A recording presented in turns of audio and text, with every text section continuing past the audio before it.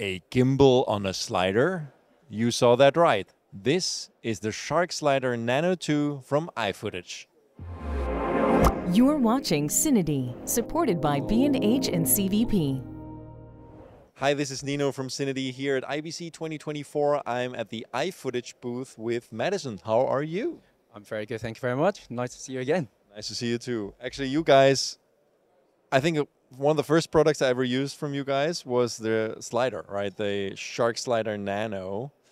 And now, after how many years? Five years. Five years, you released a second generation of the Nano.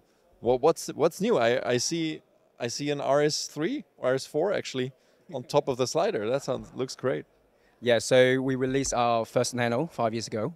Uh, we received a lot of feedback in the last five years. Uh, so our team gone back and just go back to the blueprints and we designed everything again from the scratch. So this time Gen 2 is out. You know, we have upgraded a lot of components inside.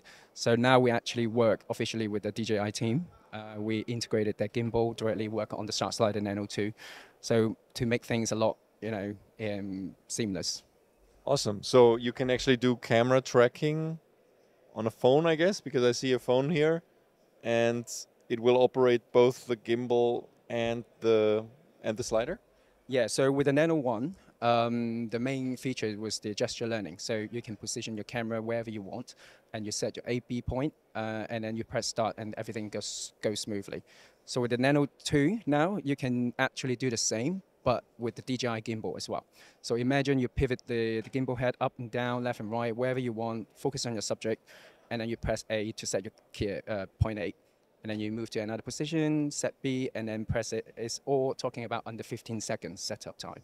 So, so, so it's like a full remote head actually with the gimbal you already have, right?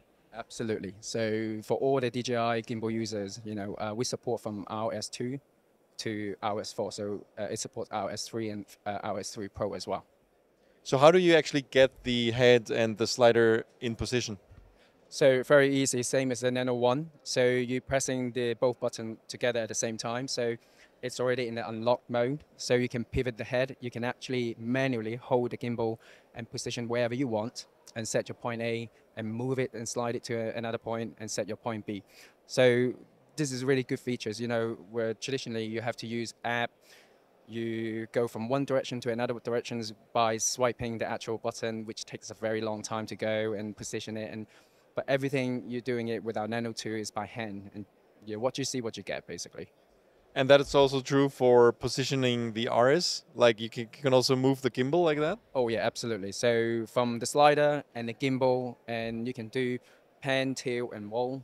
Everything you do it it captures it. So very easy to set up. Very cool. Very cool. What, what else is new compared to the first generation? So we redesigned the whole tracking system. Uh, now we use like a linear bearing, so make things a lot smoother and more stable. Um, and we have like uh, in terms of key point setup, now we have uh, up to eight points. But, but the Gen 1 is only like set A or B point. Uh, and then, as you mentioned before uh, about the facial tracking, we actually uh, the beta uh, the beta app actually we support of uh, AI facial tracking. So you you know very similar to the uh, DJI apps already. You, you circle with your face, and then wherever you go, left and right, it, it always tracks you. So imagine you in a like a, doing a cooking show. You know, on the left you're doing like chopping the ingredients while the slider's panning. You know, um, but if you go to the right hand side yeah, at the wok you're doing stir fry, the whole thing is always focused on your face. So you can do your talking, presenting, and everything. So it's, it's, a lot easier. And it will it will not just turn the gimbal; it will also actually move on the slider to follow you. At the same time, yes, correctly. Yeah. Um, I think it has a higher payload. I see it can take more weight. Yeah, absolutely. So with the Gen 1, um, it was a 3.5 kilogram horizontally. Now with the Gen 2, we actually double that. So up to 7 kilograms horizontally and vertically it's 3.5 kilogram. So again, with um, mounting a gimbal and a camera on it, so now it's definitely yeah support a heavier setup. One of the standard uh, things that's important about motorized sliders is the um, level of sound that they make, because of course you want to be able to shoot interviews with them and be them have them relatively soundproof. Now some of them get really loud when you move them fast. How is it with this one? It's very, very quiet, is even more quieter than the Gen 1. because because again with the linear bearing. So I mean you can point your mic right next to it. Well, it's very loud here, but yeah, I don't I don't hear it. I actually don't do not hear it. Yeah, yeah. We'll do a sound test and post it on uh, our social media, and yeah. So What's the minimum and maximum speed it can do?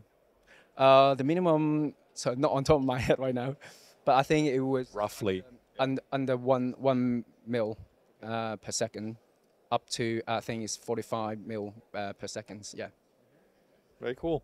And I think there's well, you have a battery here, and uh, I also want to mention this is the longer version. You also have a shorter one, right? Yeah, that's right. So with Nano 2, we have two lengths. Um, so this one is 660 uh, physically uh, in length, uh, but the travel range is 40 centimeters. Uh, with the shorter one, it's uh, 440. Uh, the travel range is uh, 20 centimeters. So there are two lengths, yeah.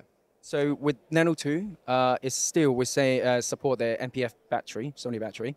Um, but sometimes it depends on the brands, you know, batteries is, uh, they, they vary.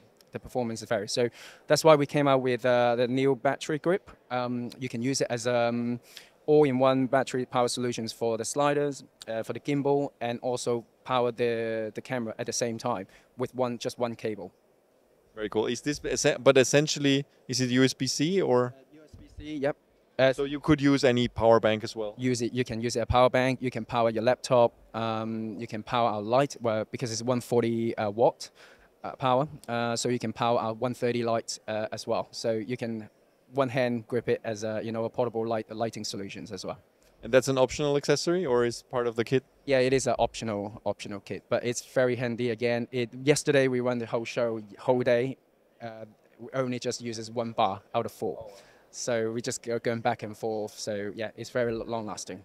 Okay, great. Uh, pricing and availability of the two sliders and the battery? Sure. So for the for the long one, long version Nano 2, uh, we're going to price it for uh, 749 US dollars, and for the shorter one, it's going to be 649 uh, US dollars.